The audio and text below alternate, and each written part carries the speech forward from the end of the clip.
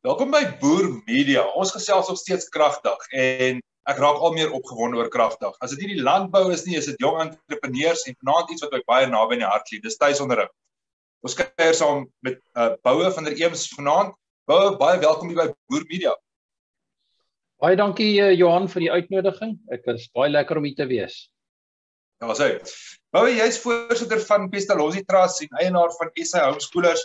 Uh tuisonderrig is iets wat uit sy nate uit bars die laaste paar jaar.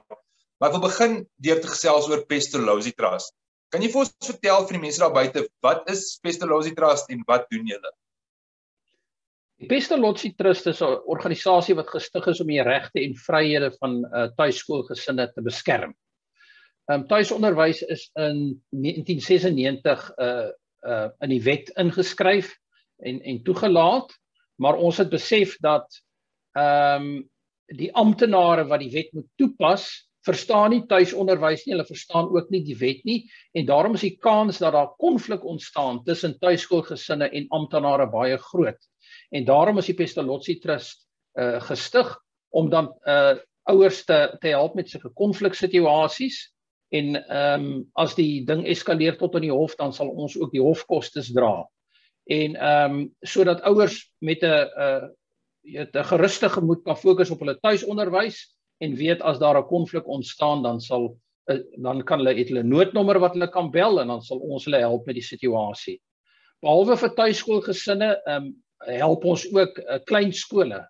Uh weet wat die uh wat die die die regs die ehm um, regulatoriese omgewing maak dit baie moeilik vir kleinskalige skole om om wettig te bedryf en ons help hulle om uh, aan die vereistes van die wet te voldoen deur te skakel met hulle en met die owerheid. Nou nou maar ek moet nou bieg want ons is ook in die tuisonderrig en as iemand vra oor tuisonderrig is die eerste ding wat ons vir hulle sê sluit aan by Pestalozzi Trust. Die ander goed kan jy later uitsorteer, maar sluit aan by Pestalozzi Trust want ek is nou een van daai gemaklike mense as hier iemand gaan aankom dan gaan ek hulle julle nommer gee. Ehm um, en dit is net daai gemoedsrus wat uh, wat mense het.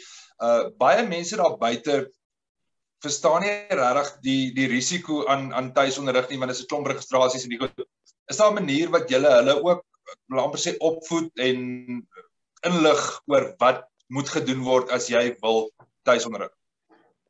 Ja, kyk as jy 'n lid is dan kan eh, dan dan kan ons jou begelei die al die pad, weet jy eh, jy moet die registrasievorms aflaai en kyk of jy gemaklik is om aan daai vereistes te voldoen en ehm um, dit is jou besluit om weet of jy wil registreer of nie en ons sal vir jou ons gee net inligting oor die wet en wat die konsekwensies is uh, van die wet en gee vir jou advies van hoe jy uh weet uh, potensiële probleme kan uh hanteer of vermy. En dit is nou reg verstaan jy gaan op kragdag 'n praatjie aanbied en uh oor die oor die nuwe onderwysbedeling wil jy ons so dalk bietjie vertel van van waaroor dit gaan? Ja, so in 2017 uh, is uh, is die sogenaamde Bella Bill gepubliseer. Uh, dit is die Basic Education Law Amendments Bill. In Afrikaans is dit die basiese onderwys wysigingswetsontwerp. En ehm um, daardie wet sal die regte en vryhede van tuisonder tuisonderwysgesinne baie inperk en ons het uh, baie geveldtogte gevoer en baie in gesprek gegaan met die owerhede uh, oor die die ehm um, impak wat hierdie wetgewing uh, gaan hê op ouers. Maar ons wil nie net negatief wees nie. Ons wil ook 'n positiewe alternatief voorstel. So ons het ook baie gewerk om 'n positiewe alternatief daar te stel.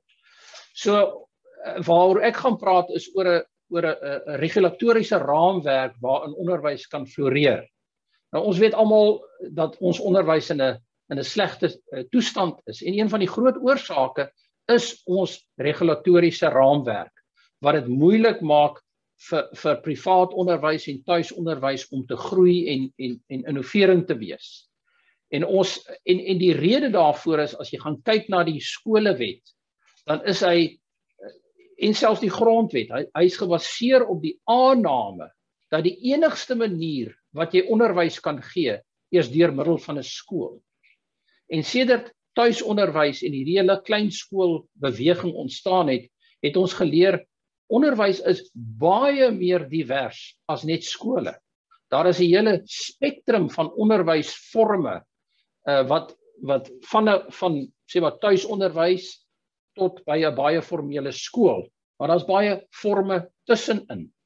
En en en ons regulatoriese uh, raamwerk is eintlik soos wanneer jy die vervoer reguleer deur middel van 'n deur middel van die treinewet. So nou probeer jy reguleer hoe hoe mense hulle fietsse moet ry in die treinewet. So het ons die diversiteit van onderwys wat gereguleer word deur 'n skolewet. En en ons voorstel is dat onderwys moet gedereguleer word. Nou in Suid-Afrika is ons baie negatief oor baie weet staatsinstellings wat verval het, maar ons vergeet soms van een van die groot suksesverhale in Suid-Afrika. En dit is telekommunikasie.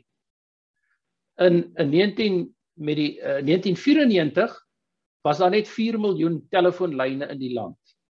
Nou het selfs die bedelaar op die straat 'n mobiele foon.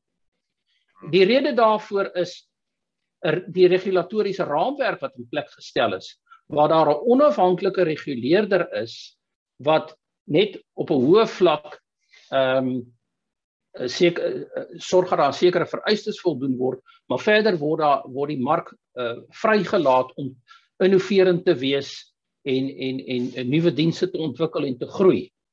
En so uh daardie model dink ons sal vir die onderwys ook werk, dit sal groei en innovasie gee. Want op die oomblik sit ons ons sit in dieselfde situasie as wat ons in 1994 was, want alle telekommunikasie verskaf is deur 'n monopolie, naamlik die departement pos en telekommunikasie. In die onderwys is dieselfde. Die die grootste verskaffer van onderwys is die staat en die staat wat die grootste verskaffer van onderwys is, is ook die reguleerder van onderwys. Met ander woorde, die staat is beide speler, grootste speler as wel as ook skeieregter. So dis 'n onregverdige uh, regulatoriese raamwerk en ons ek gaan 'n bietjie praat oor die alternatiewe wat daarvoor is. Wel, ek wil 'n onregverdige vraag vra en ek kan verstaan as jy dit nie antwoord nie, maar as ek kyk na dit alles, dan vra ek vir myself bedreig tuisonderrig die regering. Ons weet kinders is is ongelooflik vatbaar vir inligting en eh, die tuisonderrig maak nou nie saak daar's soveel kurrikulums en soveel maniere wat jy dit kan doen, maar daar's 'n daar's 'n daar's 'n kind wat opgevoed word wat baie keer ag ek bedoel baie hoër standaarde het as wat enige staatsskool vir hom kan gee. Uh, wil die regering of die of die staat bietjie bedreig deur deur tuisonderrig? Wel, dis eintlik 'n baie maklike vraag. Die regering is ons regering is soms baie eerlik. Hulle sê in hulle eie dokumente, die ANC se strategie dokumente, uitsprake van die minister self, sê hulle dat die doel van onderwys is om die ideologie van die regerende party oor te dra. So dis algemene kennis dat en nie net in Suid-Afrika nie, oral oor die wêreld is die rede hoekom die staat in onderwys betrokke is, is sodat die staat sy ideologie aan die volgende generasie kan oordra sodat die volgende generasie vir hom gaan stem. So dis nie 'n geheim nie, ons hoef nie daar te spekuleer nie, dit is gedokumenteer, dit is so. Ek wil terugkom na kragdag toe. Ehm um, die die idee van doen jou eie ding is so relevant wanneer dit kom by tuisonderrig.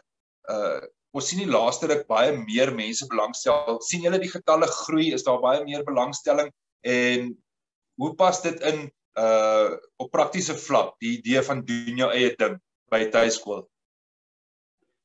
Dit is die groei vraag. Um tuisonderwys vir vir die afgelope meer as 'n dekade en dien nie langer nie die vinnigste vorm van uh, die vinnig groei die vinnigste groeiende vorm van onderwys en dis oral oor die wêreld so selfs in lande waar die regeringsonderwys baie streng onderdruk uh, groei dit sterk maar met die met die koms van die pandemie waar die uh, tradisionele onderwysstelsel nou regtig gefaal het uh, het het ons is ons skatting dat die hoeveelheid tuiskolers het verdubbel. Ehm um, so my skatting is tuisonderwys groei min of meer so 10 na 15% per jaar. In 2020 het hy verdubbel en nou gaan hy maar weer aan om teen daai tempo te groei. 'n Klein hoeveelheid kinders het na die die skole weer oopgemaak het weer teruggegaan maar dit lyk nie of dit 'n groot hoeveelheid is nie. Wou julle is op die voorpunt van tuiskool. Julle sien al die snaakse goed. Ek dink een van die groot probleme daar buite is mense dink tuiskool is skool by die huis. Dit is een kurrikulum, daar's net een manier om hierdie dinge te doen. Maar daar is daar's baie maniere. Wil jy dalk so 'n bietjie uitbrei oor die verskillende roetes wat van die mense gaan? Ja, dit is uh dis 'n baie belangrike punt. Ehm um, en en en baie mense as hulle dink inderdaad so, hulle probeer dit wat by die skool gebeur kopieer by die huis. Die die ding is by die huis, die huisomgewing is heeltemal anders as die skoolomgewing. Dit gee jou vryhede om ander dinge te doen en totaal ander onderwysbenaderings te volg. So ons het die tradisionele onderwysbenadering waar ons sê ons vat kennis en ons kap dit op in vakke en grade en dan ja dan kry jy dan doen jy vir 'n uur lank vak 1 graad 1 vak 2 weet maar daar's dis nie noodwendig die beste vorm van onderwys nie. Jy het allerlei ander onderwys uh um benaderings. Uh iets soos klassieke onderrig is is 'n is die dominante vorm van onderwys gewees in die middeleeue en die renessans met 'n sterk klem op die klassieke tale en logika en retoriek. Ehm um, dan het jy ehm um, eenheid weet unit studies is in Engels, eenheid studies wat hulle sê maar die die lewe bestaan nie uit vakke en grade nie. Die lewe bestaan weet weet jy kan 'n tema vat, tipiese Bybelverhaal en jy sê kom ons vat hierdie tema maar ons kyk na dieselfde ding vanuit verskillende hoeke. Kom ons kyk na die geskiedenis, kom ons kyk na die aardrykskunde, kom ons kyk na die wat sê dit oor oorlog, wat sê dit oor etiek. Uh en, en dis eintlik hoe die regte lewe is. Jy jy werk in 'n situasie en jy het Eh, die situasie het baie aspekte. Dan het jy heeltemal baie informele ehm um, forme van onderwys waar jy sê ek wil my laat lei deur die deur die die die belangstelling van die kind. Dit as jy vir 'n kind sê jy moet nou dit leer. En hy is nie geïnteresseerd daarin nie, dan kan jy net maar doen wat jy wil. Hy gaan net hy gaan dit dalk leer, dan gaan dit weer vergeet. Maar as jy as die kind vir jou vraag vra en sê, "Oké, okay, kom ons gaan ondersoek hierdie ding," dan gaan hy daai ding onthou. So dit is eh, weet 'n meer 'n natuurlike leerstyl. Dan jy ook uh, iets soos Charlotte Mason wat gaan oor om goeie gewoontes te kweek. So totaal ander onderwysbenaderings wat jy kan gebruik. En jy kan dan van die goeters meng. Dit noem ons eklekties. Jy weet sommige mense doen 'n bietjie van dit en 'n bietjie van dat. Ehm um, so ja, die die diversiteit is enorm in in in tuisonderwys. En en en die die ouers leer dit maar so. Hulle begin maar baie keer met skool by die huis en dan dan dan gaan sy die dan ontspoor die tuiskool treintjie. Dan begin hulle iets anders probeer. En so so leer jy soos jy gaan. Dit wil sê ons die die mense wat die meeste leer uit tuisonderwys is die ouers. Absoluut. en wat wat wat lekker is van dit en ons is 'n redelike groot tuiskoolgemeenskap is die die motiveringsverskil so wyd van van mense hoekom hulle dit doen. Ehm um, daar's van die van die kinders wat dalk met aandag afleibaarheid sit wat bietjie energie het wat hy in 'n in 'n skool opset sukkel. Ehm uh, daar's van die kinders wat vinniger wil beweeg, daar's van die kinders uh, kinders wat kunstenaars is wat nie die die ehm um, leervakke so so goed doen nie. Maar daar's soveel verskillende motiverings en tuiskool maak spasie vir al daai kinders om binne in hulle gegeewe talente eintlik te floreer. Dis nogals iets wat ek wat ek vreeslik geniet. Ja, dis absoluut en ek dink die as jy nou sê wat is die belangrikste voordeel van tuisonderwys is elke kind kan teen sy eie tempo vorder. Niemand raak agter nie. Niemand val uit die bus uit nie. Ja, dis absoluut fantasties en dit vat 'n rukkie want daai eerste paar maande, eerste jaar is mense geneig om te wil weet waar staan my kind teenoor die res wat nog in die skool is en en dan later gaan dit weg en jy besef jou kind is besig met dit wat hy doen op die vlak wat hy dit kan doen. Ehm uh, ek raak opgewonde oor hierdie tipe gesprekke. Ek kan ure lank daaroor gesels, maar ons het nie so baie tyd nie. Ek wil gou vinnig vra die uh opvoedkundige Sip Expo by Kragdag gaan gaan daar verskillende opsies daar op die tafel wees vir mense wat belangstel in tuiswerk. Ja, daar gaan 'n verskeidenheid kurrikulumverskaffers wees. uh, uh verskillende hulpbronne so ehm um, ek het nou nie almal uit my kop wie daar is nie, maar ja, daar gaan 'n hele verskeidenheid van mense wat 'n volledige kurrikulum verskaf of mense wat spesifieke goedjies verskaf wat jou help met uh, spesifieke aspekte soos wiskunde of so iets. Ehm um, ja. En dan julle van Pestalozzi gaan dan ook daar wees, kan mense daar by hulle draai kom maak, julle stelletjie, ehm um, gaan hulle julle daar raakloop. Ons gaan daar wees, ons sal daar sit agter die tafel en ons sal daar ons sal gesels met wie ook al wil met ons gesels. Ek en my vrou gaan daar wees, so daar's as as ek nie daar kan wees nie, sal sy daar wees en sy, sy is die een wat ons vyf kinders die tuisonderwys gegee het, so sy weet nog meer as ek. Ek ek moet bieg, my vrou is ook die een wat die leiding vat en en ek ek is bietjie hier op die kantlyn. Ek sien wat sy doen en ek word opgewonde daaroor, uh, maar hulle hulle doen eintlik die werk uh tussen haar en die kinders. Maar vir enigiemand wat hierdie video kyk wat enigstens belangstel in die idee van tuisonderrig wat wonder daaroor, gaan maak 'n draai by Kragdag, gaan stop by Pestalozzi, gaan hoor wat is die die vereistes, die wetlike kant daarvan, die beskerm jouself en raak deel van Pestalozzi en gaan dan na die stalletjies toe gaan kyk die verskillende opsies. Ek dink mense gaan stom verbaas wees as hulle sien hoeveel verskillende kurrikulums is daar. Ehm uh, dit voel vir my die laaste ruk asof oralste waar mense lees daar nog idees en nog innovering voor in dag kom uh met mense wat nuwe goed probeer doen. Uh tel julle dit ook op? Ja, nee, ek ek ek die mark het baie gegroei, die hoeveelheid gesinne wat tuisonderwys uh uh um kies het gegroei, maar die hoeveelheid um spelers op die mark het ook gegroei. Daar veral aan die aan die aan die kant van aanlyn um verskaffers ehm um, het daar 'n klomp nie, groot nuwe spelers op die mark gekom. Nou ek wil vir jou dankie sê vir jou tyd. Ek dink as ons kyk na kragdag en ons kyk na die idee van doen dit self in die afdeling opvoedkunde is tuisonderrig doen dit self uh gemanifesteer en julle neem die leiding daar, julle beskerm ons, julle maak seker dat ons nie in die moeilikheid kom nie, dat ons mooi ingelig is en wat ek hou van die die hele idee rondom hierdie Bella bil uh, met daai lang Afrikaanse naam uh is die idee dat jy proaktief vir die regering sê wat ons kan doen en wat ons as tuiskolers wil hê. Uh so ek sê vir julle dankie vir al die werk wat julle doen en vir die jare wat julle altyd skool in Suid-Afrika bevorder. Dis ongelooflik wat julle doen. Baie dankie. Baie dankie Johan, dit was baie lekker geweest om hier te gesels. Enige iemand wat saam gekyk het vanaand, wat nog nie seker is of hulle moet kragdag toe gaan nie. Gaan.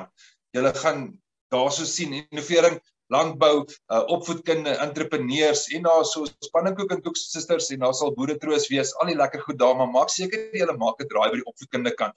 Ons jeug is ons toekoms en ons moet seker maak dat hulle die beste moontlike geleentheid kry. Tot dan, pas julle self op, strof al buite. Dis